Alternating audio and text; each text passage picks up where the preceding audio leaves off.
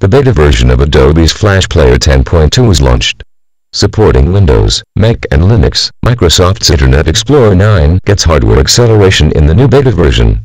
With the non-beta version featuring certain setbacks and video tasks, the latest version rectifies the setbacks and offers high-performance video playback across different platforms. Adobe Flash Player 10.2 Beta Stage Video feature in the Beta Flash Player will help websites to deliver smooth video flow across different platforms including varied devices and browsers. Hardware acceleration of the video pipeline is the spec that enables this prominent quality. As Stage Video supports different browsers, a simple update of the Flash Player will let the 1 billion Flash Player users to make the most of the latest beta version.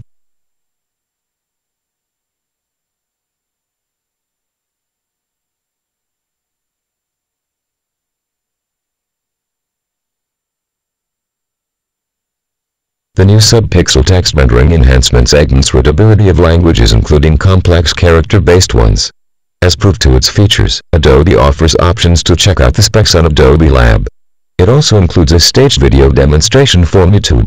To add on, users are free to file complaints in Adobe's public database in case of issues.